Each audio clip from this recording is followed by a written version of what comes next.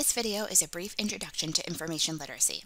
Information literacy is a set of abilities that include discovering information, understanding how information is produced and valued, using information to create new knowledge, and ethically citing sources. Here are six major concepts of information literacy. The first is the concept that information resources are evaluated based on their creators' expertise and credibility. It's important to find authoritative sources, to be aware of your own biases and worldview, and to value diverse ideas. The second concept is the process of researching, creating, revising, and disseminating information. One of the goals of this concept is to match an information need with an appropriate resource. If you need information on events that happened yesterday, you might use a newspaper article. If you need a scholarly source for a research paper, you might use a peer-reviewed journal article.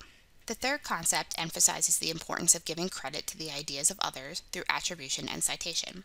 It's also important to recognize issues of information access and underrepresentation. The fourth concept is research as inquiry.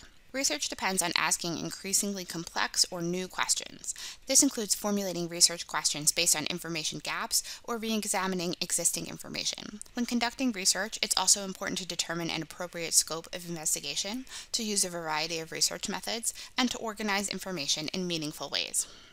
The fifth concept is scholarship as conversation. Scholars, researchers, and professionals engage in an ongoing dialogue to form new ideas, consider different perspectives, and to cite previous research when producing their own information.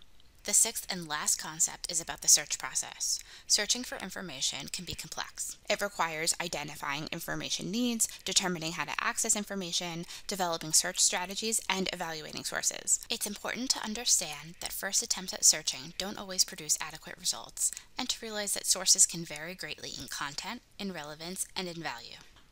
Greenley librarians teach information literacy classes across all subjects, where we help you develop the skills you need for your research assignments.